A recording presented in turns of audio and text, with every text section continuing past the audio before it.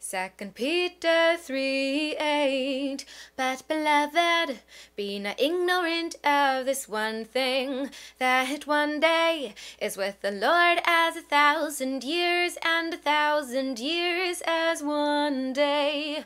But beloved, be not ignorant of this one thing, that one day is with the Lord as a thousand years, and a thousand years as one day. Second Peter 3 8.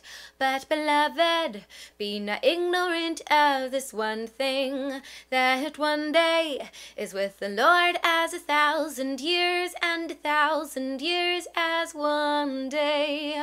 But beloved, be not ignorant of this one thing, that one day is with the Lord as a thousand years, and a thousand years as one day. Second Peter 3 8.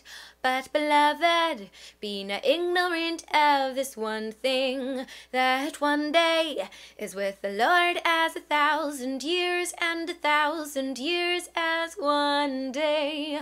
But beloved, be not ignorant of this one thing, that one day is with the Lord as a thousand years, and a thousand years as one day. Second Peter 3 8. But beloved, be not ignorant of this one thing, that one day is with the Lord as a thousand years, and a thousand years as one day.